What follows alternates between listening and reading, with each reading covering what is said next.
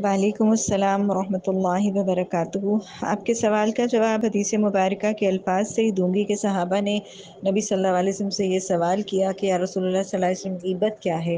तो आपने फरमाया, गीबत ये है कि तू अपने मुसलमान भाई का तस्करा उसकी गैर मौजूदगी में ऐसे करे कि अगर वो जान ले तो इसको बुरा महसूस करे।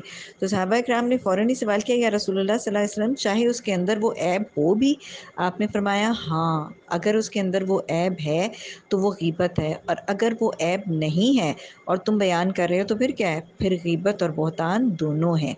तो लिहाजा ये बात बड़ी क्लियर है कि हम किसी की एब्सेंस में वो बात जो उसको पता चले और वो डिसलाइक करेगा, वो गीबत है।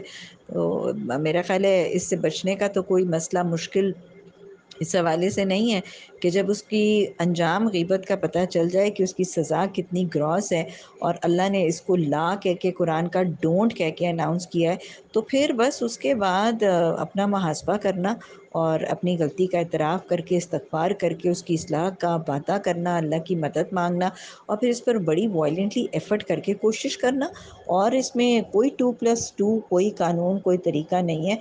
Realisation of the fact that I am up to it और फिर उसके बाद उसको छोड़ना।